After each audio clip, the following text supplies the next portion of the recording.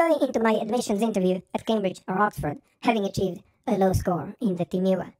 Do I stand any chance? I think I'm already doomed, even if I do okay at the interview. I got this question several times recently. I have good news and bad news for you. Bad news first. Yes, if you keep thinking that, you are doomed. You will most likely fail, I'm afraid, but not because of your low TMUA score.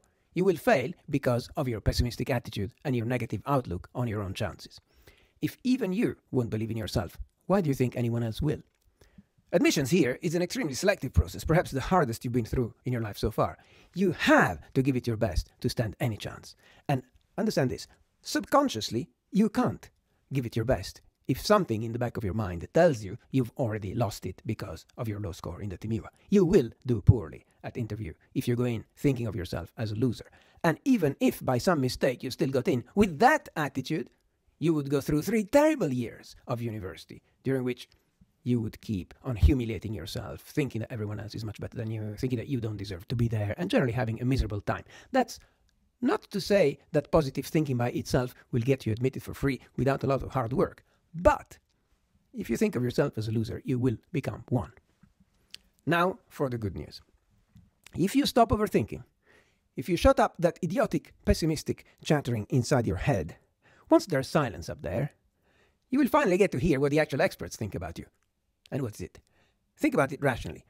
A bunch of admissions officers, people like me, and an admissions tutor for your college, someone above me, looked at your application paperwork, including school results, including Olympic medals if you got any, and so forth, and also including your poor TMUA score, and yet decided that there is some likelihood that you might be of the right caliber for us, and that we should check this out by calling you for interview.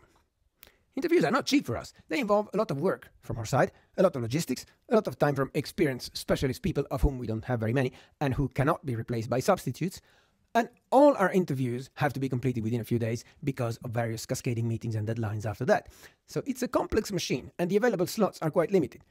Believe me, we don't waste time interviewing a candidate just for the fun of it, unless we genuinely believe we could offer them a place. Let me say this again. We invited you for interview after we saw the low TMUA score you achieved. We were not put off by that.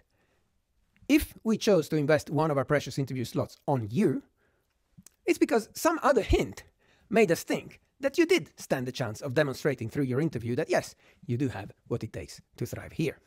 We, the ones who have interviewed and handpicked thousands of other candidates over the years from all backgrounds and all countries in the world, so we have a bit of experience interpreting those hints, imperfect though they are, we believed that you had the potential to impress us despite us having witnessed your low TMUA score. It's not the end of the world. If we had not genuinely thought that, we would not have called you for interview. Now it's up to you. According to us, you have the potential. Believe you can do it and give the interview your best. There is some luck in the process, as indeed there is at any stage in life, but the people who consistently get lucky are always the ones who prepare the ground and ultimately attracted and made their own luck. Be one of those. There are, indeed, fewer places on offer than there are people called for interview. So it is simple arithmetic, I'm afraid, that not everyone who is interviewed will be offered a place, even if your interview goes well in absolute terms.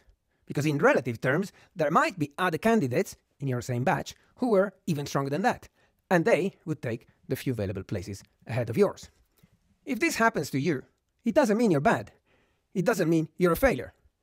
What you must not forget is that we, in our qualified opinion, believed you have the potential, even before any of us met you at interview. So make the most of that potential, which you still have regardless, whether you get an offer from us or not.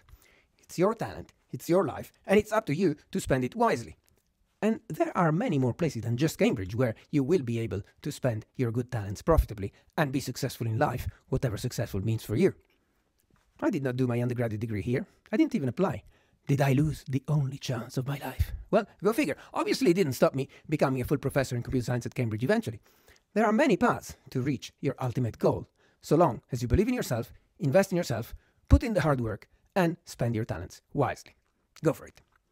By the way, say Snow Leopard in a comment if you were here till the end. I'm always happy to hear from people who are here till the end. And thank you for watching. Thumbs up if you got value from it. And if you're going for interview, then do your best. all my tips in this related video are still valid.